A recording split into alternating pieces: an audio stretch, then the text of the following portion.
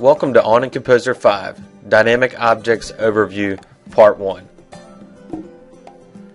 During this video, I'm going to show you what's different about these new dynamic objects compared to the other pre-built 3D models.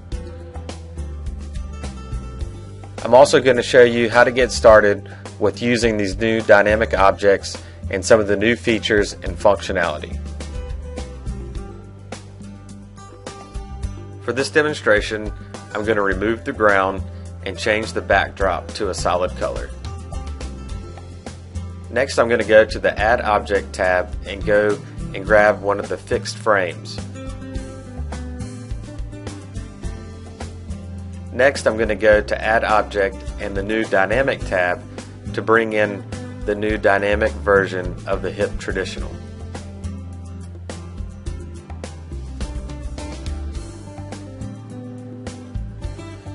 This fixed frame is a pre-built 3D model.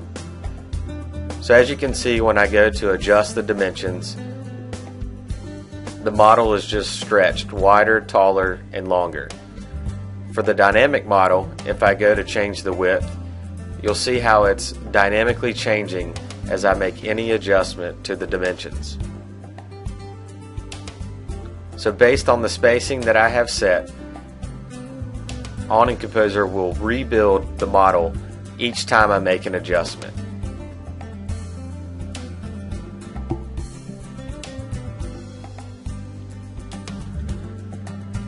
As you can see with the fixed frame model, anytime I make these adjustments, it just stretches or compresses the entire model together. It's not able to dynamically change. The new dynamic objects will actually be rebuilt on the fly each time an adjustment is made. Now let's take a closer look at the dynamic objects. Each dynamic object will have a parameter section. The parameter section will look different for every dynamic model based on what the needs are for that model. For this particular hip traditional, I have a slider bar to adjust the corner width.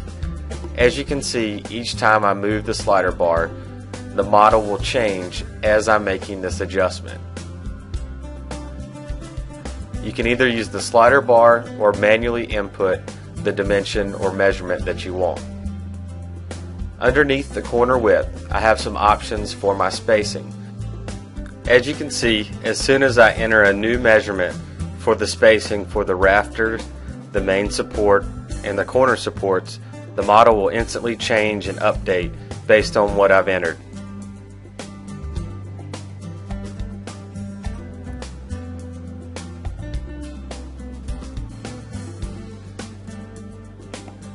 If I want to add a rigid valance, all I need to do is check the checkbox beside the sign band height. You'll see that two more options now appear.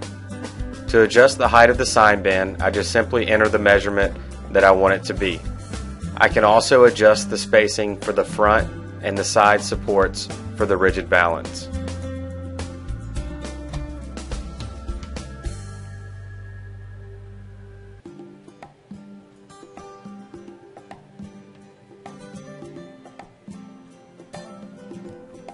There's also an option to add a lacing bar. All you have to do is check the box beside the lacing bar height. Then you can just enter in a measurement for the height that you want the lacing bar.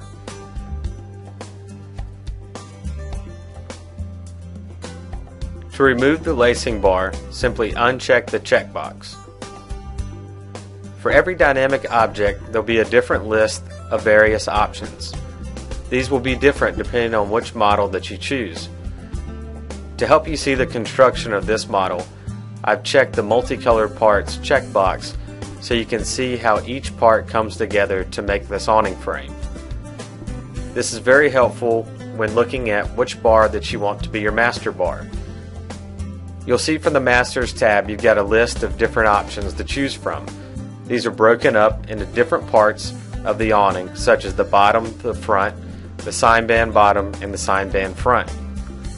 By looking at the drop down for each of these different sections, I can choose what I want to have as my master bar. As you can see on the screen, and the different colored parts of the awning, each time I select a different master bar, you'll see the awning actually change its construction based on what you selected.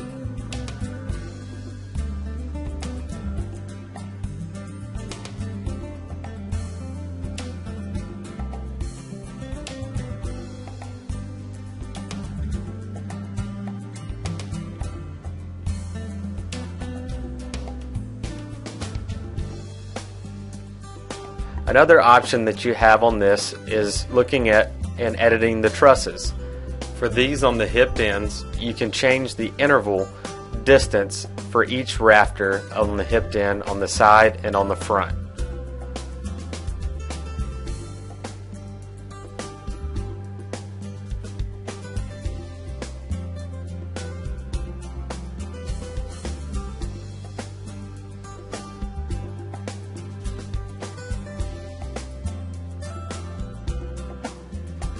So here, by adding the fabric back, you can now see the frame that you've constructed as well as the fabric for the cover.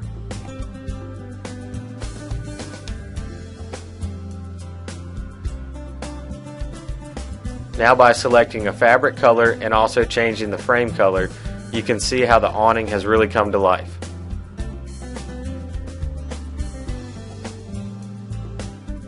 Thanks for checking out part one of the dynamic object overview.